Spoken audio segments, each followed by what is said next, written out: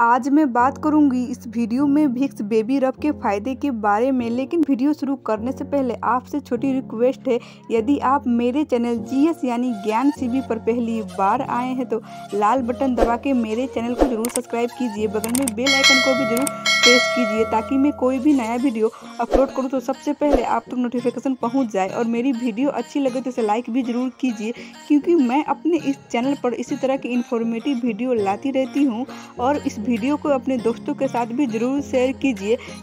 चलिए अब हम वीडियो को शुरू करते हैं। भिक्स बेबी रब के फ़ायदे आप इस बात से अंदाज़ा लगा सकती हैं कि यह अधिकांश लोग की पसंद है। हर घर में इसका उपयोग ज़रूर होता है। भिक्स बेबी रब का निर्माण बच्चों के लिए किया गया है, लेकिन भिक्स बेबी रब का इस्तेमाल शिशु के चेहरे पर नहीं लगाना चाहिए और नाक में नहीं डालना चाहिए।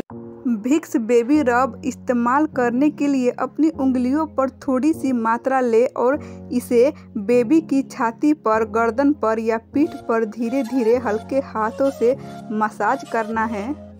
अब हम बात करेंगे इस वीडियो में किस उम्र के बच्चे के लिए भिक्स बेबी रब का इस्तेमाल किया जाता है। तीन साल और इससे अधिक उम्र के बच्चों में भिक्स बेबी रब को सुरक्षित माना गया है। तीन बरस से अधिक उम्र के बच्चों और वयस्क में भिक्स बेबी रब का उपयोग सुरक्षित रूप से किया जा सकता है।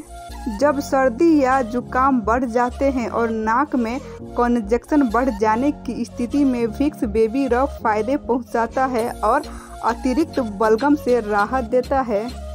अब हम बात करेंगे इस वीडियो में नवजात शिशु को हम क्या हम भिक्स बेबी रफ लगा सकते हैं? तो इसका जवाब है नहीं। आप नवजात शिशु को भिक्स बेबी रफ नहीं लगा सकते हैं।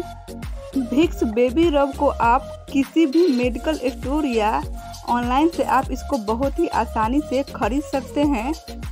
भिक्स बेबी रफ लगाने से पहले अपने हाथों को अच्छी तरह साफ़ कर ले। उसके बाद ही भिक्स बेबी रफ से अपने बेबी को मालिश करना है। नाक में मुँह के आसपास इसे नहीं लगाना है।